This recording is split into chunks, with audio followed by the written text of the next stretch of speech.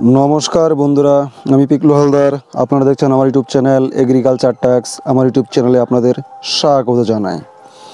তো বন্ধুরা, আজ আমি ড্রাগন গাছের যে রোগটা নিয়ে আলোচনা করব, এই রোগটা শীতকালে কম বেশি সবার বাগানেই টুকটাক দেখা যায় এবং এই রোগটা যদি সঠিক সময়ে আমরা যদি নিরাময় না করি, তাহলে কিছুদিন পর দেখা যায় যে ডাল বা গাছে আপনার আক্রান্ত হয়েছে সে ডালটা, যখনই একটু গরমের সিজন চলে আসবে, গরমের ভাব চলে আসবে, সে মুহূর্তে এই ডালটি সম্পূর্ণরূপে পচে গিয়ে আপনার টোটাল বাগানে এই রোগটা বিস্তার লাভ করবে। অতএব এই ঘটনা যেহেতু না ঘটে, তাই আমাদের সবারই উচিত আগে ভাগে যখনই এই রোগটা বা এরকম মরিচা রোগটা আমাদের দেখা যাবে। সঙ্গে সঙ্গেই আমরা এর পদক্ষেপটা নিতে হবে। তো বন্ধুরা, আমরা আজকে যে বিষয়টা নিয়ে আলোচনা করব সেটা হচ্ছে ড্রাগন গাছের মরিচা রোগ এই মরিচা রোগ কেন হয়?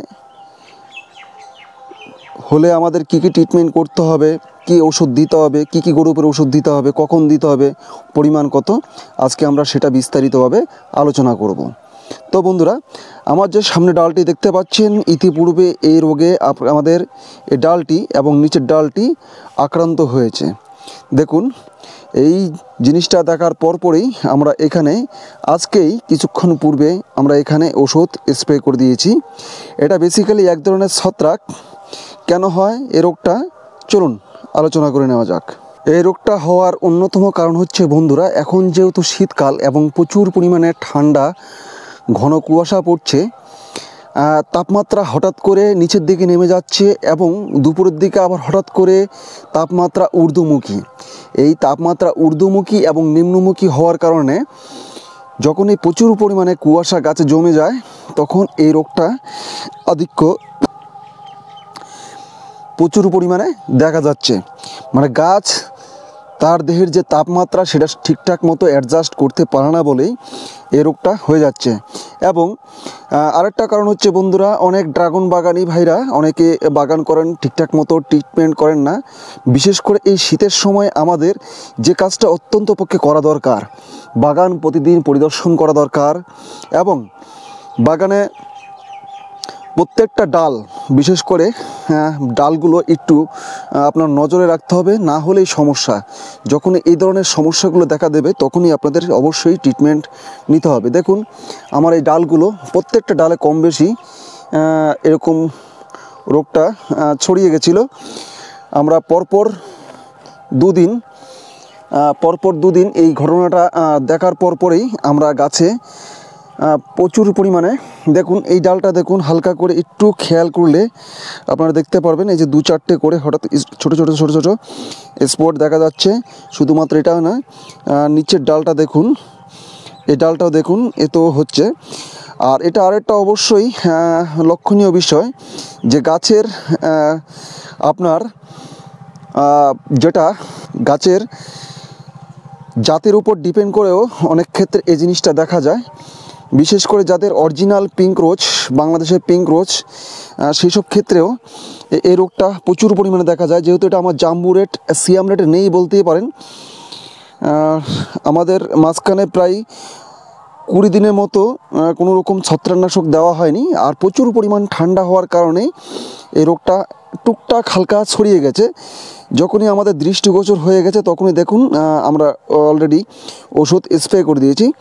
তাহলে এই রোগটার মূল কারণ হচ্ছে, বন্ধুরা দিনের বেলা প্রচুর পরিমাণ হঠাৎ করে গরম এবং দিনের বেলা প্রচুর পরিমাণ ঠান্ডা হওয়ার কারণেই এই রোগটা একটু ছড়িয়ে গেছে।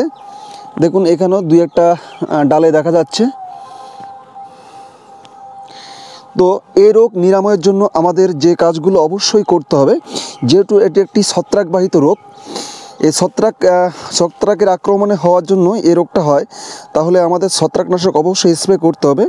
এবার কোন গ্রুপের ওষুধ আমরা এখানে ব্যবহার করব এবং কি কি ওষুধ দেবো সেটা একটু বিস্তারিতভাবে জেনে নেওয়া যাক। এই ছত্রাক জনিত রোগের ক্ষেত্রে আমি যে প্রথম ওষুধটা সাজেস্ট করব সেটি কম বেশি সকলেই জানেন।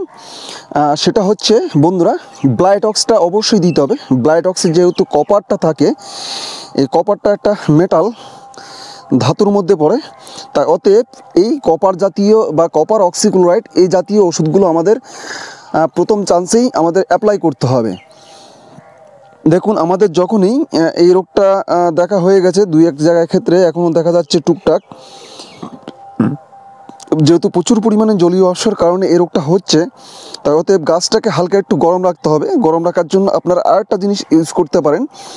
আমি সবসময় বলব, দুই থেকে তিন ধরনের ছত্রাকনাশক আপনারা পরপর বিশেষ করে পাঁচ দিন অন্তর অন্তর দুবার ব্যবহার করুন। দুবার ব্যবহার করার ফলে আপনারা রেজাল্ট নিজের হাতে দেখতে পাবেন। প্রথমে ব্লাইটক্স দিতে হবে। ব্লাইটক্সের সঙ্গে অবশ্যই অবশ্যই যে জিনিসটা দিতে হবে, অবশ্যই অ্যান্টিবায়োটিক এই সময় অত্যন্ত এই ড্রাগন গাছের ক্ষেত্রে দরকার। অ্যান্টিবায়োটিক হিসাবে আপনারা দিতে পারেন, অ্যান্টি অ্যান্টিব্যাকটিন দিতে পারেন, অথবা ট্রাইসাইকোনাজল এবং সঙ্গে দিতে পারেন হেক্সাকোনাজল গ্রুপের ছত্রাকনাশক। তাহলে প্রথম অবস্থায় আপনারা কি দেবেন?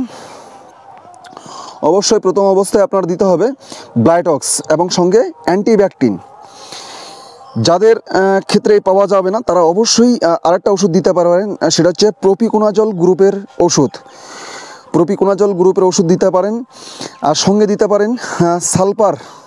সালপারটা অনেকটা কাজ করবে। সালপারটা অবশ্যই দেবেন। যারা এটাও পাবেন না এবং রোগটা অতিরিক্ত বাড়াবাড়ি পর্যায়ে চলে গেছে যাদের প্রচুর পরিমাণে আহ, সারা বাগানে ছড়িয়ে পড়ছে তাদের জন্য আমি আরেকটা ওষুধ অবশ্যই সাজেস্ট করব।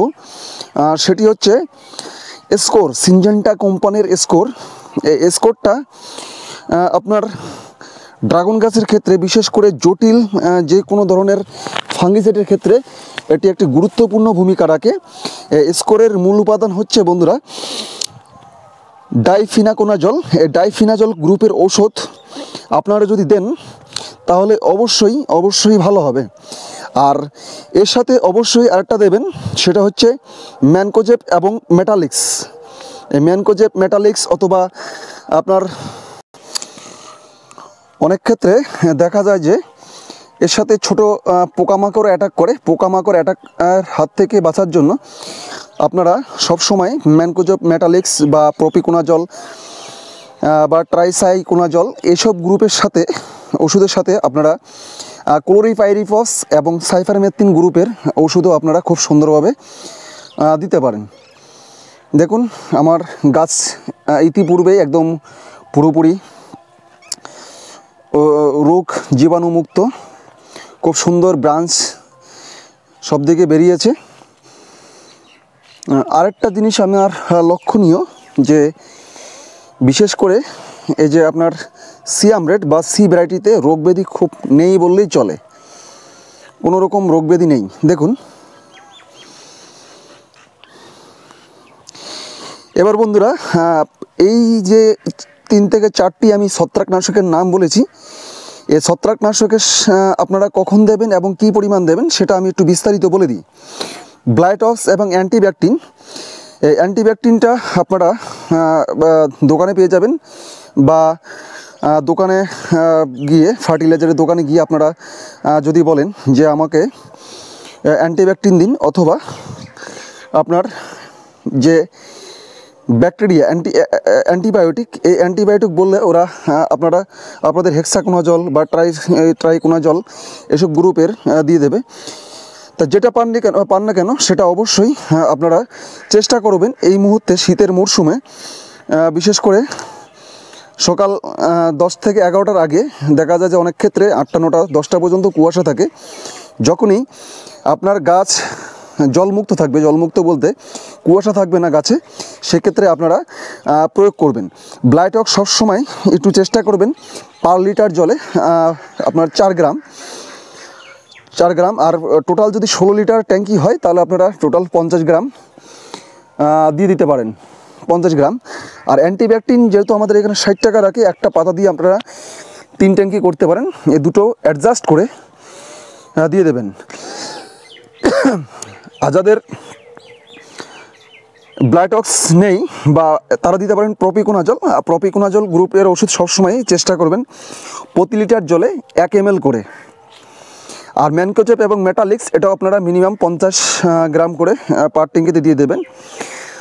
আর এত কিছুর পরও যদি আপনারা না পান, তাহলে স্কোর, যেটা ডাইফিনাকোনাজল এটাই মেন ডোজ হচ্ছে প্রতি লিটার জলে হাফ এম করে। যদি অতিরিক্ত রোগের বাড়াবাড়ির ক্ষেত্রে আপনাদের, আমি বারবার বলছি স্কোরটা সবসময় কম পরিমাণে ইউজ করবেন। বেশি পরিমাণে ইউজ করলে গাছ টাইট হয়ে যায়, গাছের বৃদ্ধিটা একটু হ্রাস পেয়ে যায়। আর এটার স্কোরের আরেকটা ভালো দিক হচ্ছে, যাদের অনেক ক্ষেত্রে আপনার বিভিন্ন সারের কারণে বা অতিরিক্ত জলের কারণে, বিশেষ করে বর্ষার সময়, গাছের গোড়া নষ্ট হয়ে যায়।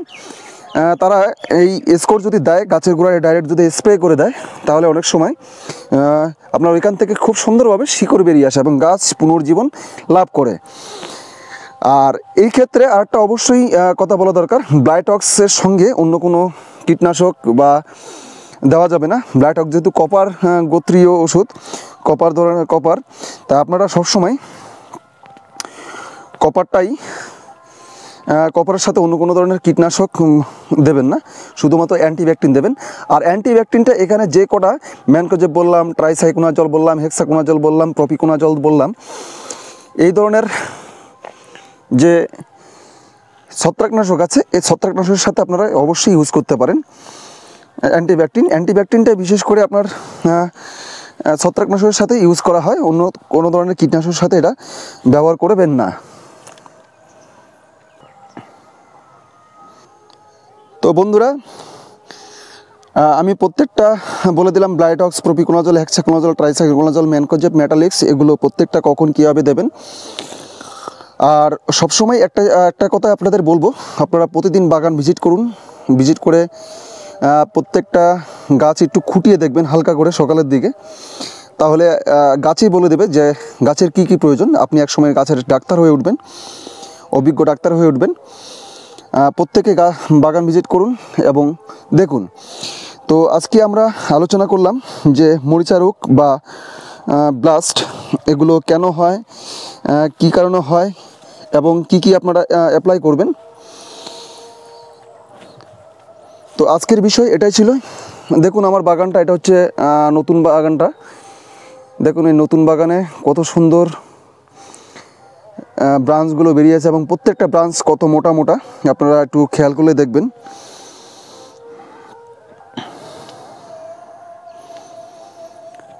এর জন্য অবশ্যই আমাদের খাদ্য খাবার দিতে হয়েছে। এটা আমার পুরনো বাগান, দেখুন। চলুন দেখে নেওয়া যাক পুরনো বাগানটা, নতুন বাগান দেখেছেন।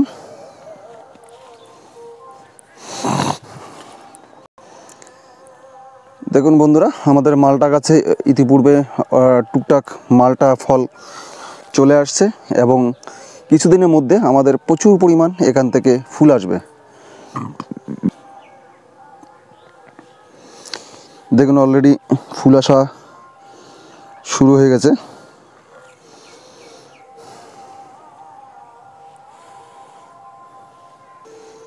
এ হচ্ছে আমার পুরনো বাগান, দেখুন।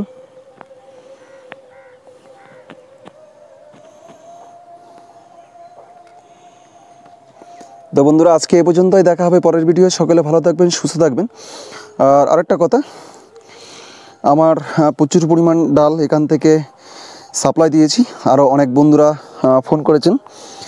তাদের উদ্দেশ্যে আমি বলব, আমার কিছু গোড়ার ডাল আছে। আপনাদের কারও যদি দরকার হয়, অবশ্যই আমাকে ফোন করে জানাবেন।